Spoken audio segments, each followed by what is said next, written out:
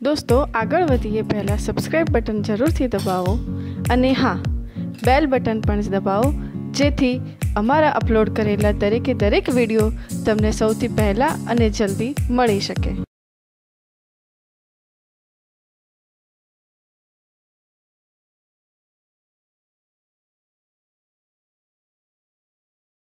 Eddy current. આપણે હમણાં eddy current એક ગતિનો વિરોધ ગતિના વિરોધનું એક ખાસ ઉદાહરણ ઇલેક્ટ્રોમેગ્નેટિક ડેમ્પિંગ ડેમ્પિંગ ડેમ્પિંગ તમને ખ્યાલ હશે. અવમંદિત દોલનો. તમે ભણ્યા છો? તરંગો દોલનો દોલન ઘટતા જતા કંપિતતા સંમેલન દોલનો. ગતિ અવરોધાય છે એનું સ્પષ્ટ ઉદાહરણ ઇલેક્ટ્રોમેગ્નેટિક ડેમ્પિંગમાં છે. તો અહીંયા આપણી પાસે એક એન પોલ અને એસ પોલ આપેલો છે. આપણે જાણીએ છીએ કે એન પોલમાંથી નીકળેલી મેગ્નેટિક ફિલ્ડ લાઇન ક્યાં જશે. S પોલ તરફ જશે. તો આ સમગ્રમાંથી ચુંબકીય ક્ષેત્ર પ્રમાણે હશે બરાબર? હવે એની વચ્ચે આને દોલન કરાવવામાં આવે. પણ સૌ પ્રથમ આપણે પહેલા એક વાત સમજી લઈએ. આ પ્રયોગને ત્રણ રીતે કરવામાં આવે છે. પહેલે, ફક્ત જડિત આધાર છે.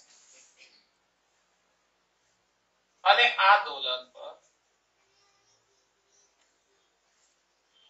આટલે સુધી લઈ એનાથી પર્ટિક્યુલર ખૂણે લઈ જઈ અને એના દોલનો છે ફોર એક્ઝામ્પલ એને વન મિનિટમાં કેટલા દોલનો કર્યા? બરાબર? અથવા એના દોલનો કેટલા સમય સુધી? ત્યારે સ્ટોપ કેટલા સમય સુધી દોલનો ચાલુ રહે છે? હવે આપણે મેગ્નેટિક ફિલ્ડમાં એને દોલન કરાવીએ. મેગ્નેટિક ફિલ્ડમાં દોલન થશે એટલે શું થશે? એન્ટર થશે આની અંદર. તો મેગ્નેટિક ફિલ્ડમાં જ્યારે એન્ટર થશે ત્યારે તમે જાણો છો, ફ્લક્સમાં ફેરફાર થશે. એના ફ્લક્સમાં ફેરફાર થશે. અને ફ્લક્સમાં ફેરફાર થાય તો શું થશે? એડી કરંટ ઉત્પન્ન થાય. ને એ એડી કરંટ, આ પ્રમાણે એડી કરંટ એડી કરંટ શું કરશે? તો કે ગતિનો વિરોધ કરશે. નોર્મલ હાલતમાં, ધારો કે 30 સેકન્ડ સુધી દોલનો થતા આ એના કરતા ઓછા સમયમાં એના દોલનો શું થશે બંધ ખ્યાલ આવે છે તો આ કેમ તો કે ગતિનો વિરોધ થાય છે મેગ્નેટિક ફિલ્ડની અંદર જ્યારે આ જે વાહકનું દોલક એક પ્લેટ છે ધાતુની પ્લેટ છે અને આ ફ્લક્સ છે મતલબ અહીંયાથી અહીંયા ચુંબકીય ક્ષેત્ર જાય છે એની અંદર જ્યારે પ્રવેશે ત્યારે ફ્લક્સમાં શું થાય છે ફેરફાર થાય છે ફ્લક્સમાં ફેરફાર થાય એટલે એની અંદર એડી કરંટ ઉત્પન્ન થાય એડી કરંટ ઉત્પન્ન થાય એટલે દોલન શું થાય અવરોધ થાય છે. હજુ આ પ્રયોગમાં થોડુંક અપડેશન કરવામાં આવે. અને એડી કરંટ ઘટાડવા માટે આ દોલતને કેવો બનાવી દેવામાં આવે? આ.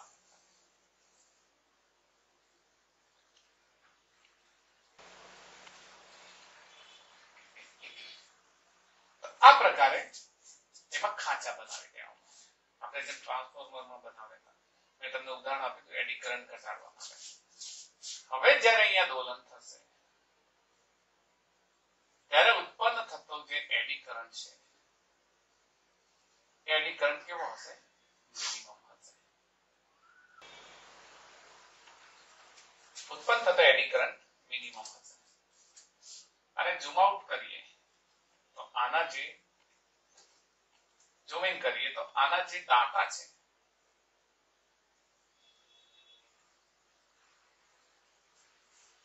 એ દાંતાની અંદર એની કરંટ અલગ અલગ એની કરંટ ઉત્પન્ન થાય છે. તો આ સમગ્ર પ્લેટમાં કરંટ ઉત્પન્ન થતો હતો, એના કરતા એડી કરંટ શું થઈ ગયો? ઘટ્યો. એટલે અહીંયા સૌથી વધુ દોલનો થતા હતા. કેમ? તો કે મેગ્નેટિક ફિલ્ડ હતું નહીં.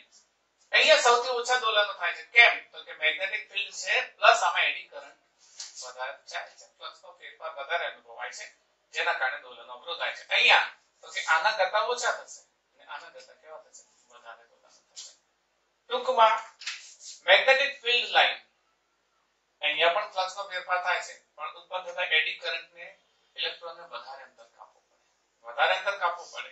એટલે એડી કરંટ કેવો થઈ જાય? ઘટી જાય છે. અહીંયા એડી કરંટ વધારે હોય છે. શરૂઆતમાં અહીંયા તો આપણે જોઈએ છે કે વિદ્યુત ચુંબક, વિદ્યુત ક્ષેત્ર છે ને, એટલે નોર્મલ હાલતમાં આ દોલનોના ઘટાડાને આપણે શું કહીશું? ઇલેક્ટ્રોમેગ્નેટિક ડેમ્પિંગ એને આપણે નોંધી લઈએ. જો આપણે નોંધી લઈએ કે આકૃતિમાં દર્શાવ્યા પ્રમાણે એક ધાતુની પ્લેટને જડિત આધાર સાથે બાંધી અને આપણે શું તૈયાર કરીશું?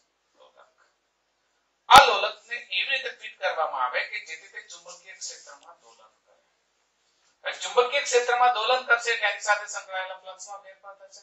ફ્લક્સમાં ફેરફાર થાય ત્યારે આ લોલક પહેલા કરતા જલ્દી થઈ જાય છે. જલ્દી સ્થિર થવા પાછળનું કારણ શું છે? તો દાખલા તરીકે આ લોલકની પ્લેટ આમ દોલન કરે છે. તો જે ભાગ એન્ટર થાય છે, એ ભાગમાં એડી કરંટ આ દિશામાં. તો એનું ચુંબકીય ક્ષેત્રમાં વધારો થાય, ફ્લક્સમાં વધારો થાય. તો સામે ક્ષેત્ર રેખા બને જેમાં ઘટાડો થાય છે, એમાં ચુંબકીય ક્ષેત્ર વિપરીત દિશામાં બને છે. કહેવાનો એવો કે ફ્લક્સ વધે સામે બનાવશે. તો આ ચુંબકીય ક્ષેત્ર રેખાઓ શું કરશે? તો એકબીજાની ગતિને શું કરશે? અવરોધશે ગતિને શું કરશે? અવરોધશે નોર્મલ હાલતમાં ચુંબકીય ક્ષેત્ર નથી. પણ જ્યારે સામ સામે ફ્લક્સ બને છે, કારણ કે એક ફેરફાર થાય, બીજું સામે પ્લેટ બનાવે છે, કારણ કે ઇલેક્ટ્રોન દોડશે તો સામે પણ ફ્લક્સ બનશે. તો એ બંને ક્ષેત્ર રેખાઓ એકબીજાને શું કરે છે? ક્રોસ કરે છે.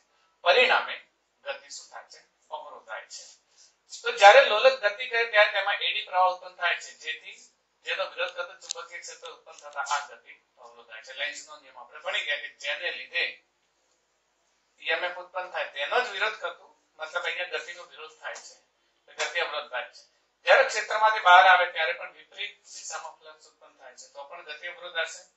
હવે લોલકને આકૃતિમાં દર્શાવ્યા પ્રમાણે, એની આ જે રચના છે ત્રીજી આકૃતિમાં દર્શાવ્યા પ્રમાણે ફેરફાર કરવામાં આવે તો પહેલા કરતા આ ઘટનાને આપણે શું કહીશું? ઇલેક્ટ્રોમેગ્નેટિક ડેમ્પિંગ કહીશું. ઇલેક્ટ્રોમેગ્નેટિક ડેમ્પિંગ એટલે એના દોલકના દોલનમાં અવરોધ ઉત્પન્ન થાય છે.